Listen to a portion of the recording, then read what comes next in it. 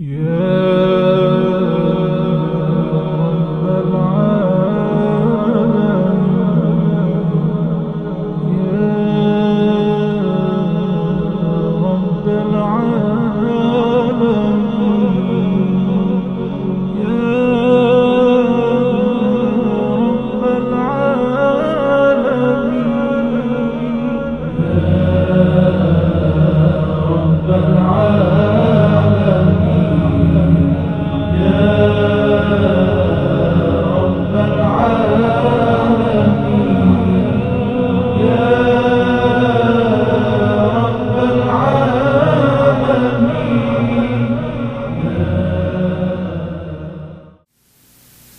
الرحمن الرحيم.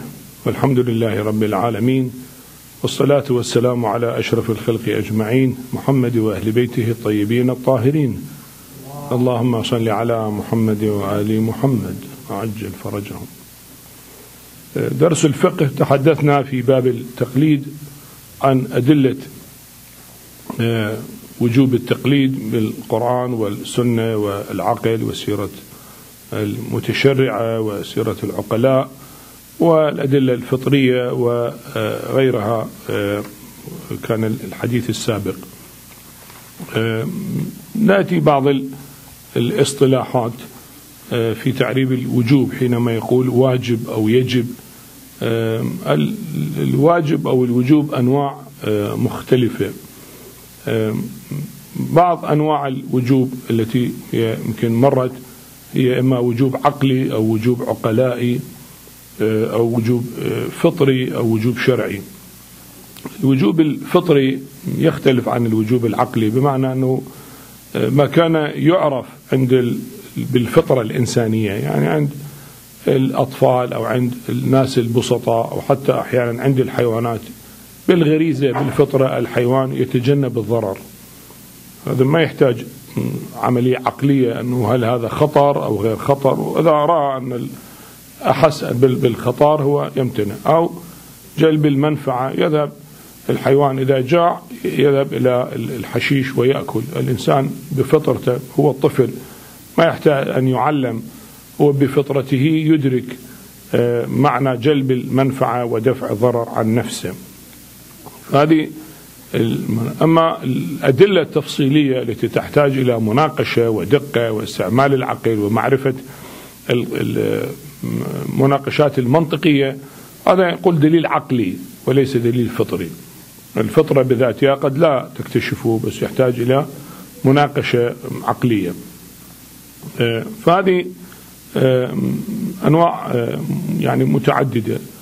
في الشرع حث طبعا على استعمال العقل وأيضا حث على فهم الناس كما في الحديث النبوي الشريف في حجة الوداع قال رسول الله صلى الله عليه وآله وسلم في خطبته كما تروى عن أبي جعفر الباقر عليه السلام قال خطب رسول الله صلى الله عليه وآله وسلم في حجة الوداع فقال يا أيها الناس ما من شيء يقربكم من الجنة ويباعدكم من النار إلا وقد أمرتكم به.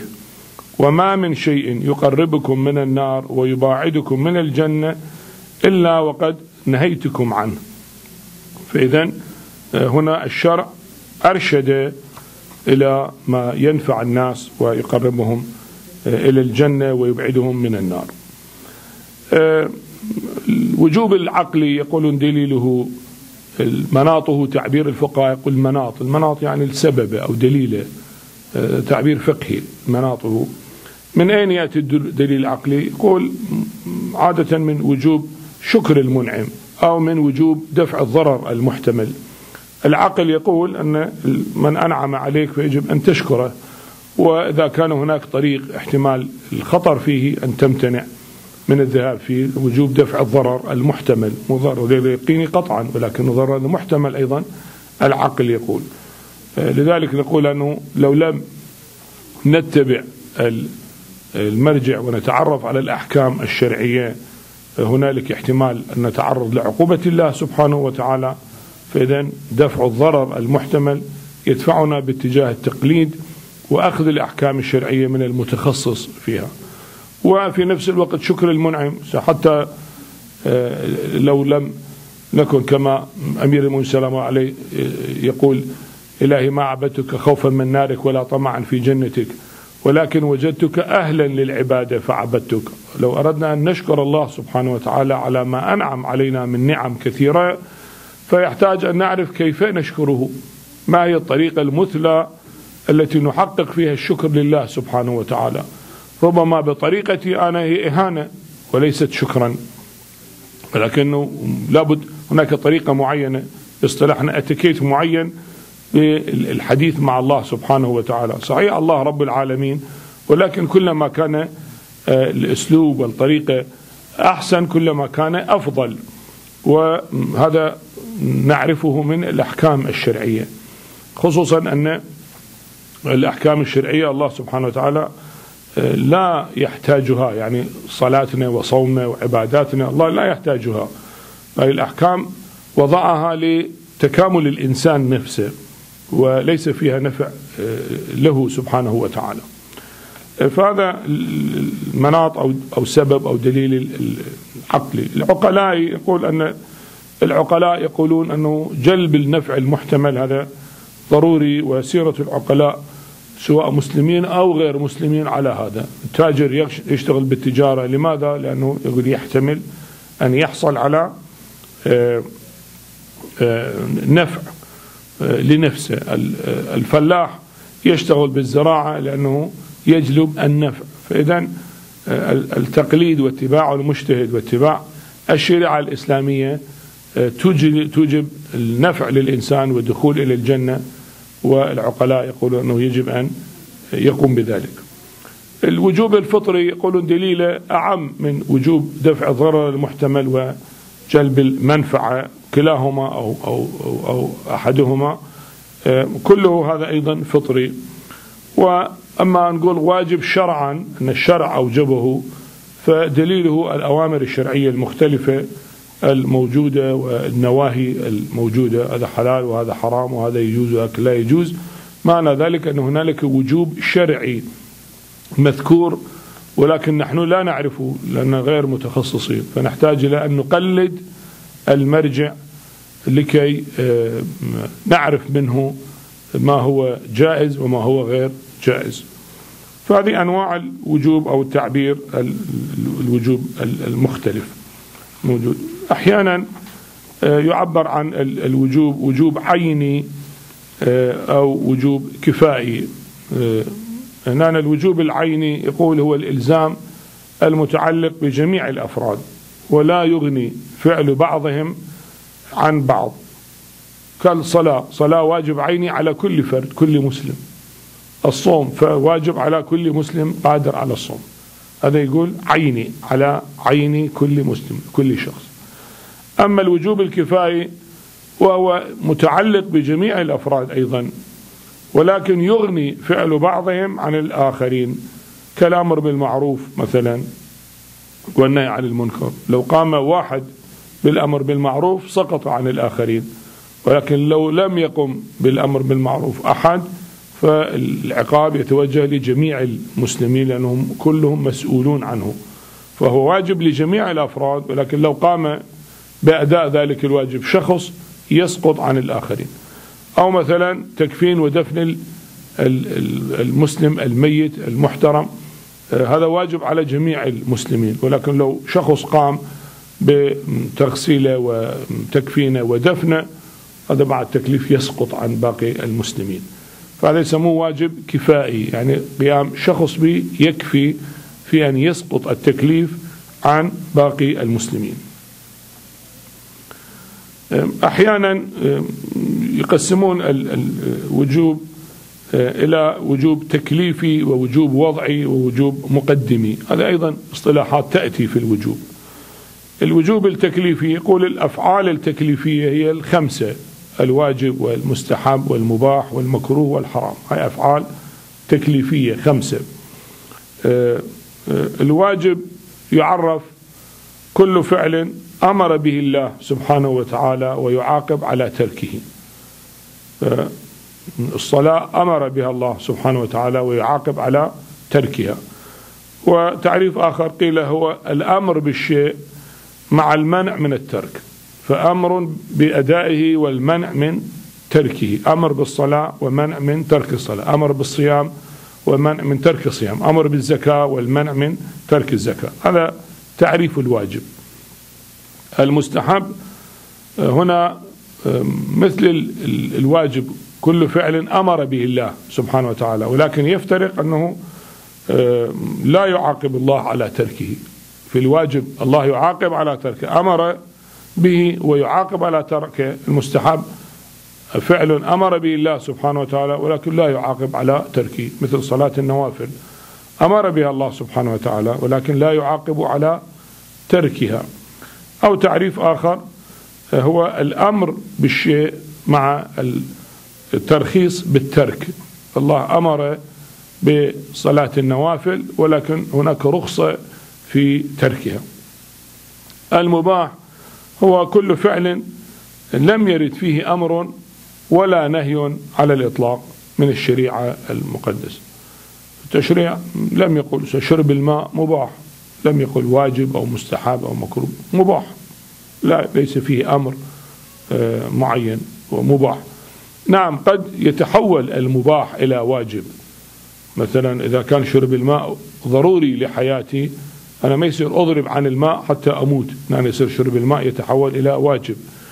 آه، وربما إذا فيه بعض الفوائد الأخرى التي يحث عليه الشرع مثلا يكون مستحب أو إذا كان شرب الماء من مثلا قيام آه، في الليل مثلا يتحول هذا الفعل إلى مكروه يعني أو إذا كان الماء مغصوب فشرب الماء ربما هنا يكون حرام أو إذا كان نجس يكون حرام.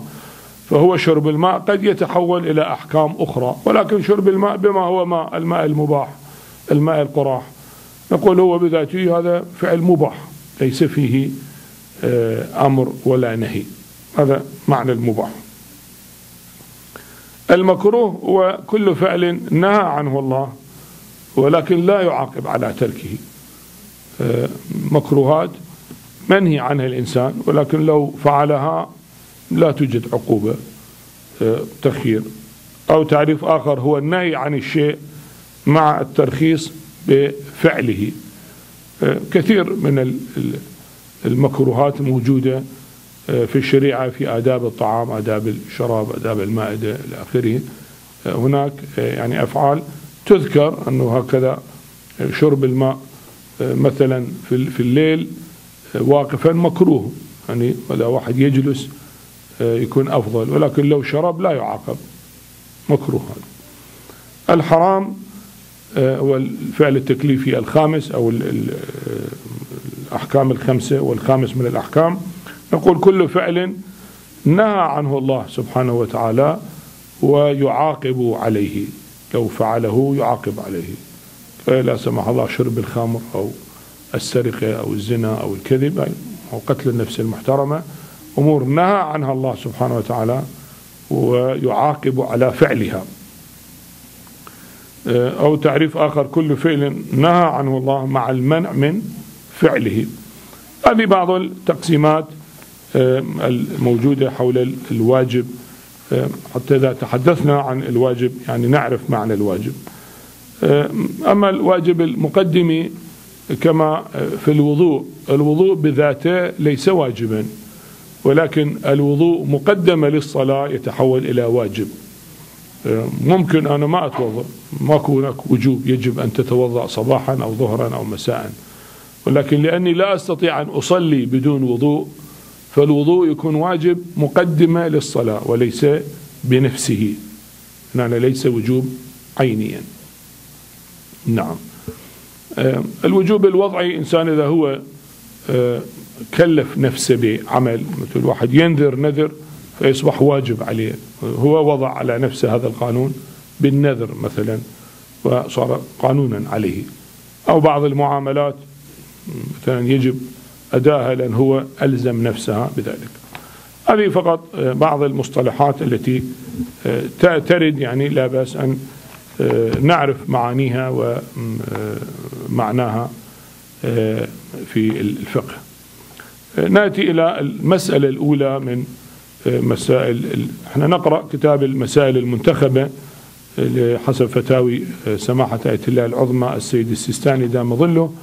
ونشرح آراء باقي العلماء إذا كان هناك اختلاف بالرأي.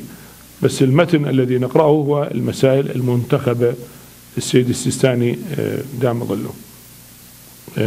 يقول يجب على كل مكلف أن يحرز امتثال التكاليف الشرعية التكاليف الإلزامية الموجهة إليه في الشريعة المقدسة. هنا نستعمل أولا يجب بمعنى أنه ليس هناك رخصة في ترك هذا الأمر. نقول يعني خيار لا بأس كيفنا؟ لا مو كيفنا هنا يجب يعني اللفظ المستعمل قلنا يجب وهذا يعاقب على تركه. فعل أمر به الشرع ويعاقب على تركه. إذن تركه. الثاني على كل مكلف. من هو المكلف؟ آه الإنسان العاقل الذي يبلغ سن التكليف.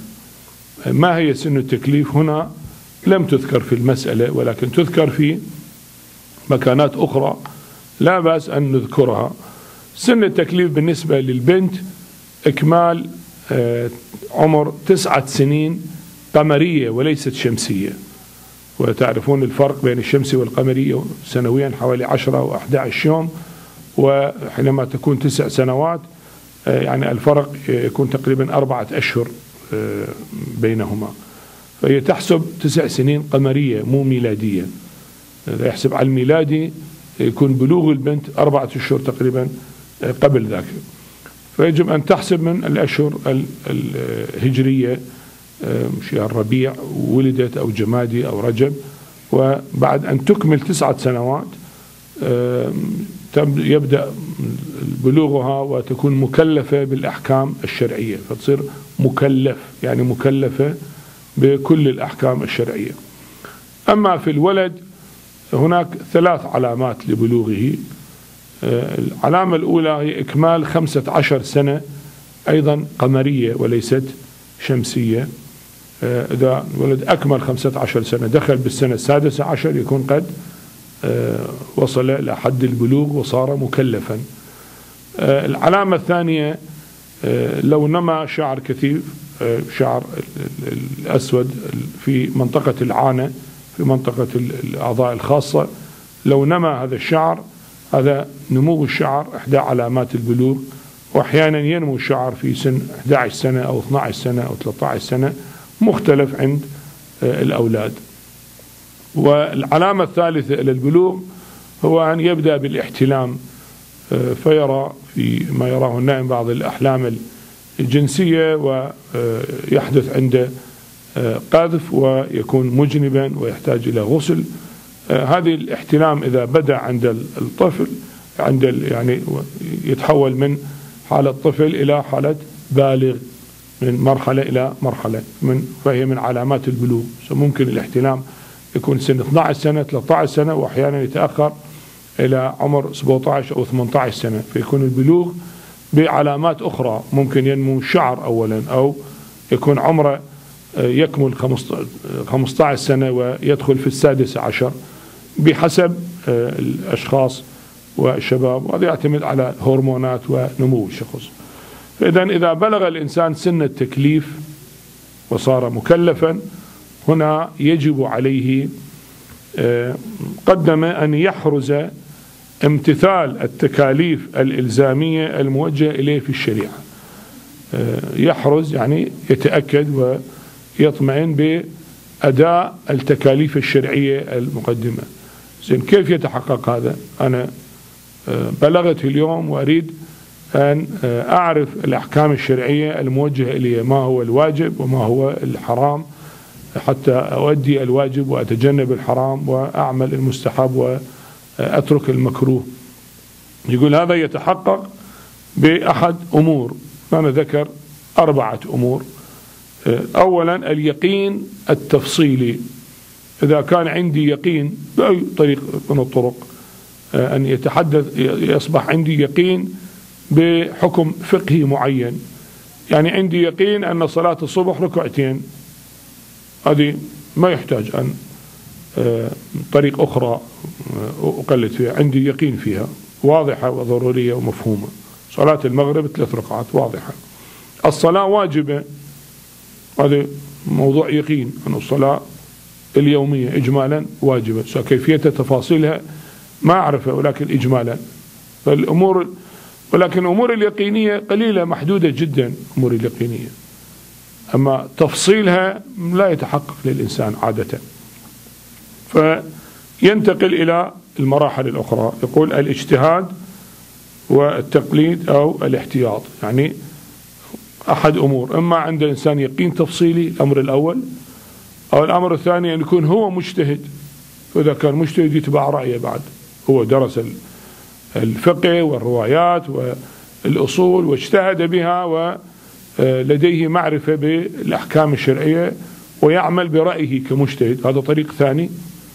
الطريق الثالث هو التقليد أن يقلد الإنسان يعني يتبع مرجع من المراجع. هذا التقليد. الطريق الرابع أن يعمل بالاحتياط. يعمل بالاحتياط بأن يأخذ آراء المراجع في مسألة معينة ويعمل بما يرفع عنه التكليف قطعا.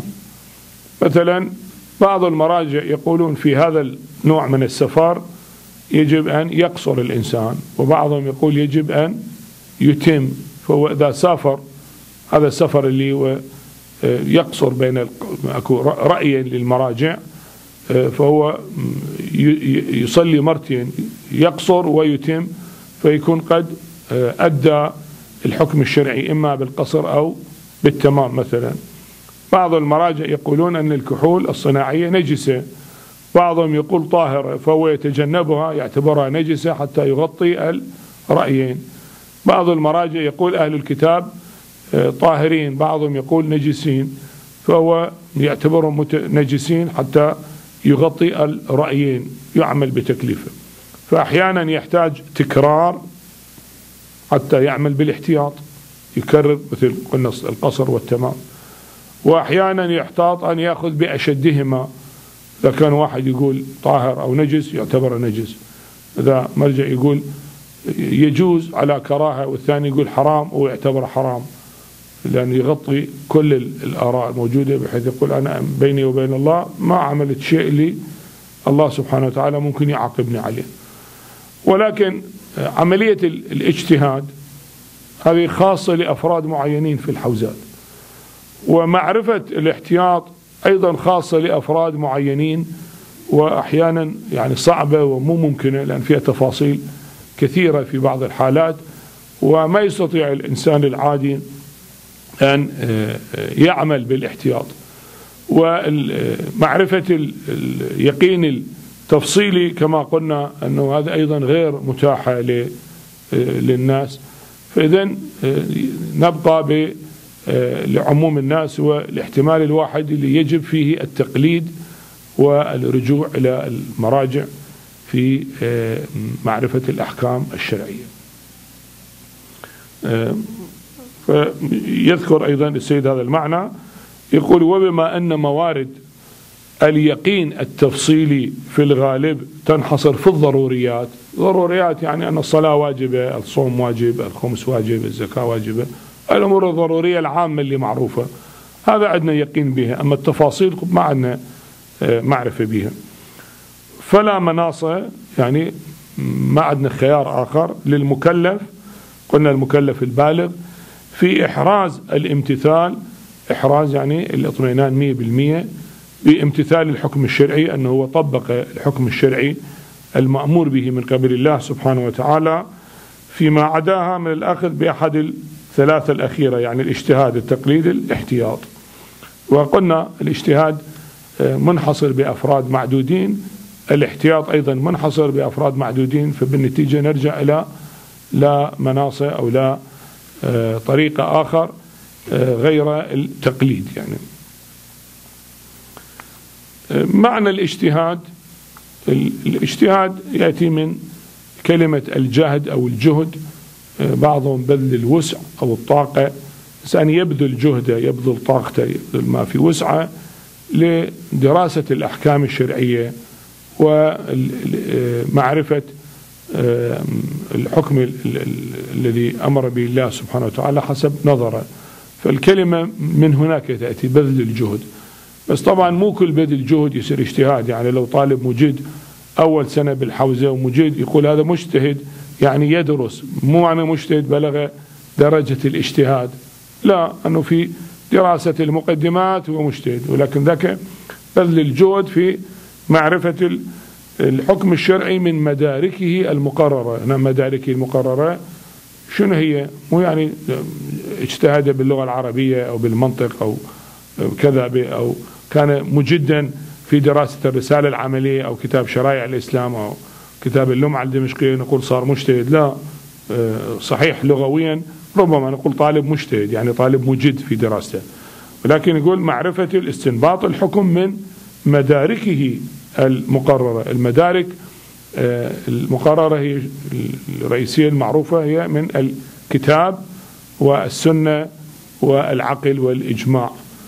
الإجماع يرجع آه، إلى الكتاب والسنة والعقل أيضا. يرجع لهما في الواقع الكتاب والسنة فمعناته يستطيع أن يستنبط الحكم الشرعي من القرآن الكريم والسنة النبوية. وإذا عرفنا وجود في القرآن الكريم آيات الأحكام أكثر من 500 آية وتحتاج إلى تفسير وإلى آراء المفسرين ومعرفة اللغة بتفاصيلها والتفاسير المختلفة وغير ذلك. ثم مقدمة الاجتهاد أيضا معرفة الأصول الفقه وقواعد الأصولية والاجتهاد في أصول الفقه ثم القواعد الفقهية والاجتهاد في القواعد الفقهية وثم آه، معرفة الرواة وتوثيق الرواة ومعرفة الحديث كما ذكرنا. فنعرف أن المسألة آه، ليست بهذه البساطة كل إنسان يأتي ويقول أنا قرأت رواية وهذه الرواية تقول كذا وكذا وعليه الحكم الشرعي كذا وكذا. أو أنه الآية الكريمة تقول كذا وكذا وعليه هذا الحكم الشرعي. لا هو ليس هكذا. هنالك ناسخ ومنسوخ ومحكم ومتشابه وخاص وعام وظروف مختلفة سواء كان في موضوع القرآن أو في موضوع الحديث. آه، تحدثنا عنها سابقا. ولذلك يقول أن من يبلغ إلى هذه الدرجة بحيث يستطيع أن يستنبط الحكم الشرعي من آه، الأسس الشرعية هي الكتاب والسنة والعقل والإجماع هذا يكون قد بلغ درجة الاجتهاد هذا معنى الاجتهاد. آه، نأتي على معنى التقليد إن شاء الله في آه، الحلقة القادمة. والحمد لله رب العالمين وصلى الله على محمد وآله الطاهرين.